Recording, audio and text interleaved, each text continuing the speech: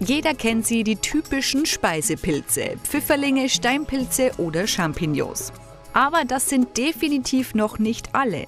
Sabine Herkner hat schon über 150 verschiedene Speisepilze in unserer Region gefunden. Bei ihrer Suche achtet die leidenschaftliche Schwammerlsammlerin hauptsächlich auf die Pilzarten, die für gewöhnlich jeder stehen lässt. Zum einen ist das Rot von diesem, der heißt harter Zinnobertäubling, weil er einen sehr harten Stiel hat. Wirklich, den kannst du nicht mal zerdrücken, so hart ist der. Zinnober, weil er so Zinnoberrot ist und das ist immer so ein mattes Rot. Selbst wenn es regnet, ist es immer so blass und matt. Und bei dem Speitäubling, da wenn es regnet, da, ist, da glänzt der richtig, wie wenn er einen Lack drüber hätte.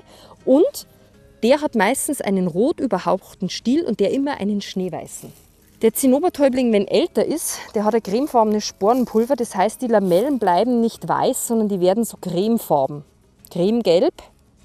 Wohingegen der Buchenspeitäubling schneeweiß ist unten drin.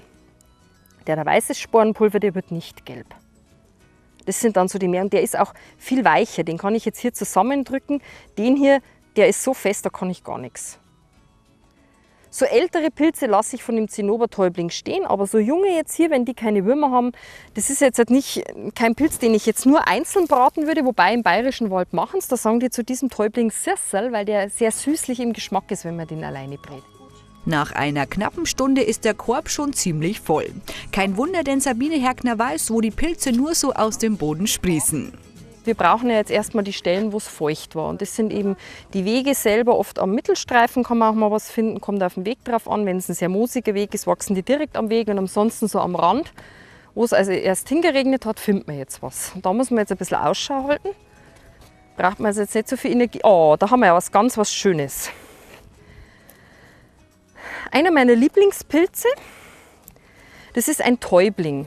Viele Leute trauen sich an die Täublinge nicht ran, weil es ein Lamellenpilz ist ist ein hervorragender Speisepilz. Überhaupt unter den Täublingen gibt es sehr viele sehr gute Speisepilze und natürlich auch welche, die ungenießbar sind. So wirklich giftig ist da keiner in der Gattung. Da gibt es auch eine Täublingsregel und die besagt, das zeige ich euch mal. Jetzt holen wir den raus. Ja, prächtig. Eine Farbe, Wahnsinn. Das ist der grün gefälderte Täubling. Man sieht genau, wo der Herr der seinen Namen hat, von diesen grünen Feldern. Täubling, weil es ein Täubling ist. Täublinge haben nie einen, eine Manschette oder einen Ring haben auch nicht irgendwelche Tüpfelchen, jetzt wie die Pantherpilze, die wir heute schon gehabt haben, die Velumreste, also Hüllreste oben drauf haben. Das hat der nicht, sondern das ist die Maserung vom Hut eben. Sehr konische, gerade Stiele, immer sehr feste Pilze, brüchig. Wenn ich jetzt den Stiel brechen würde, würde das knacken wie ein Apfel. Das sind Sprötblättler.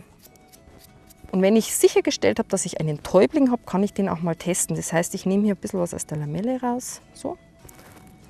Kau das vorne zwischen den Zähnen auf der Zungenspitze.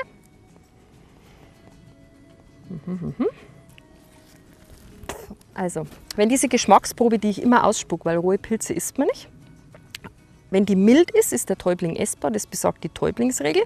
Ist es scharf, ist er ungenießbar. Die Floristin kennt so einige Pilzarten, die gefährlich aussehen, aber hervorragend schmecken sollen.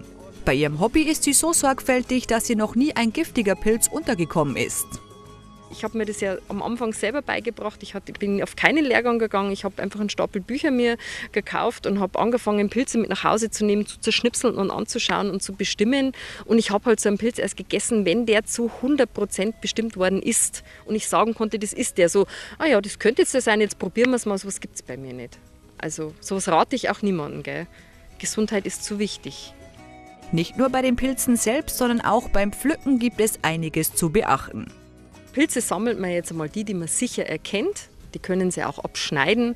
Wer damit glücklich ist, Amaronal schneide ich auch ab. Ich würde jetzt einen Pfifferling oder einen Steinpilz, den hole ich immer ganz raus und putzen dann und schneide die Reste weg.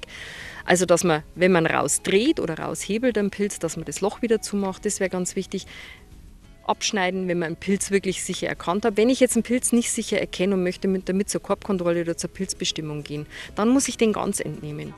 Mit diesen Tipps im Gepäck kann eigentlich nichts mehr schiefgehen. Und wer weiß, vielleicht begegnet den Pilzfreunden da draußen auch mal ein giftig aussehender Pilz, der ja eigentlich ganz lecker ist. Und wer sich übrigens mal nicht so sicher ist, der kann mit seinen Schwammerl bei der Expertin in der Kammerstraße in Straubing vorbeischauen.